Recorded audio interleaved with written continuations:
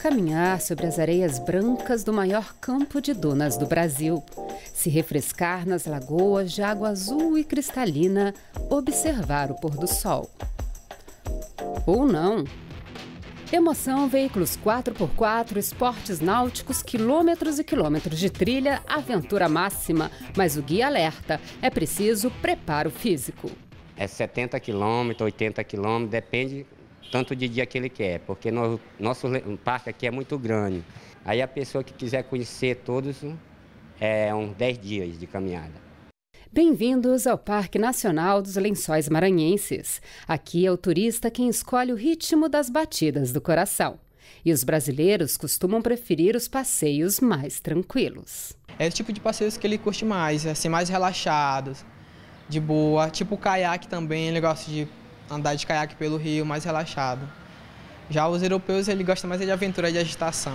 De férias, Rafaela seguiu a preferência que o guia de ser a nacional a contemplação da natureza. Uma beleza indescritível. Eu posso tentar explicar, mas ainda não vou chegar perto de como é lindo esse lugar. Só quem vem vai sentir a energia, vai ver a natureza, como ela é perfeita aqui. Os lençóis maranhenses estão inseridos dentro do cerrado, mas apresentam forte influência da Caatinga e da Amazônia. Com essa complexa e única natureza, o parque ocupa 155 mil hectares, que equivalem quase ao tamanho da cidade de São Paulo.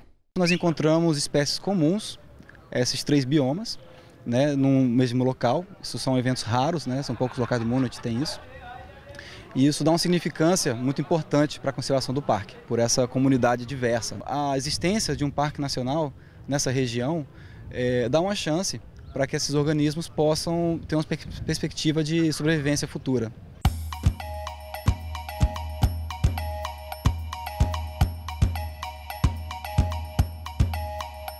E para abrir ao mundo toda essa maravilha é preciso estrutura para os visitantes: transporte, alimentação, hospedagem e estacionamento. Para isso, o Instituto Chico Mendes de Conservação da Biodiversidade vai fazer concessões desses serviços a iniciativas privadas em sete parques nacionais. E os lençóis maranhenses é um deles. O investimento nos sete parques será de 81 milhões de reais. E são duas as preocupações: o crescimento do turismo aliado à preservação da natureza criar uma, é, uma, uma, um, vamos dizer assim, um programa de um melhor aproveitamento dos nossos, dos nossos parques naturais. Da, é, preservando biodiversidade, preservando os empregos, preservando as pessoas que lá moram, mas ao mesmo tempo criando condições para que essas mesmas pessoas possam crescer. Com quase 9 milhões de visitantes por ano nos parques brasileiros, preservar é papel de todos. A expectativa é que agora, com uh, essa, essa concessão, a gente tenha mais tempo e possa se dedicar mais a essas questões que atingem especificamente a conservação da biodiversidade, do patrimônio natural, que é a atividade finalística do, do.